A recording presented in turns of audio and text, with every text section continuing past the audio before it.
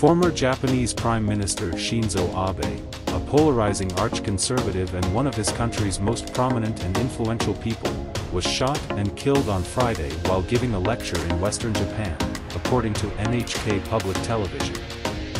Minutes after he began his speech in Nara, Abe, 67, was shot in the back. He was taken by air ambulance to a hospital for immediate care, but he was not breathing and his heart had stopped. Later at the hospital, NHK reported that he had been declared deceased.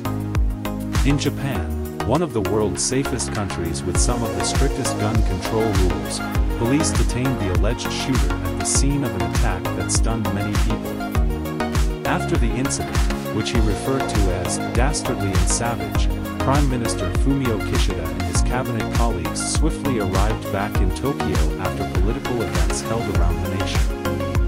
Prior to his resignation in 2020, Abe had been the head of Japan for the longest time. In a gripping video, NHK aired Abe giving a speech in front of a train station in the western city of Nara.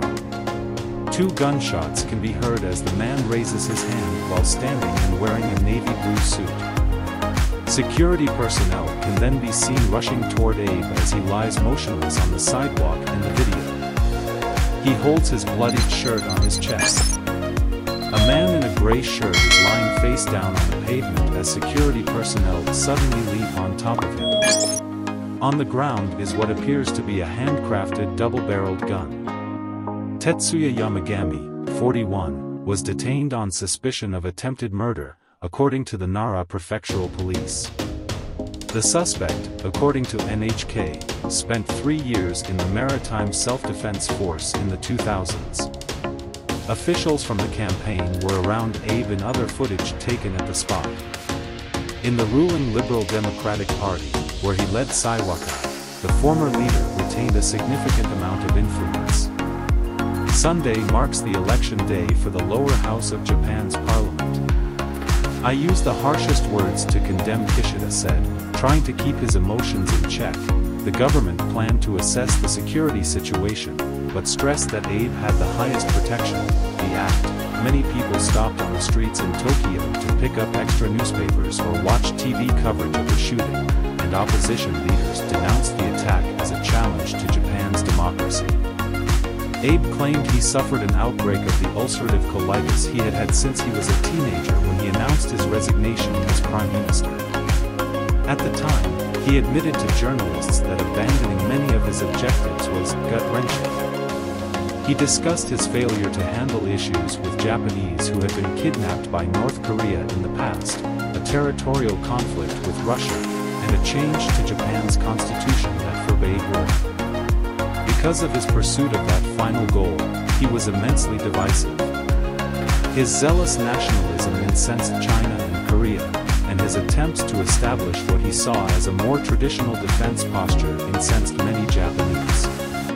Abe was unable to formally amend the country's fundamental text, the pacifist constitution, because to a lack of popular support. His legacy, according to his adherents, was to strengthen the alliance between the United States and Japan in order to increase the country's defense capabilities. Although there was much popular opposition, Abe alienated people by attempting to push through the legislature his defense priorities as well as other controversial matters. The grandson of former Prime Minister Nobusuke Kishi, Abe was a political dynamo who was being prepared to carry on his grandfather's legacy.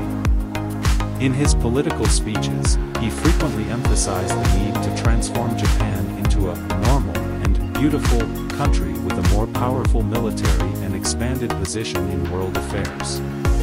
In astonishment following the shooting, many foreign authorities expressed themselves. To build a stronger Japan-US relationship, Abe expressed pride. Making the first trip to Hiroshima, the city that was atomically bombed, by a sitting American president.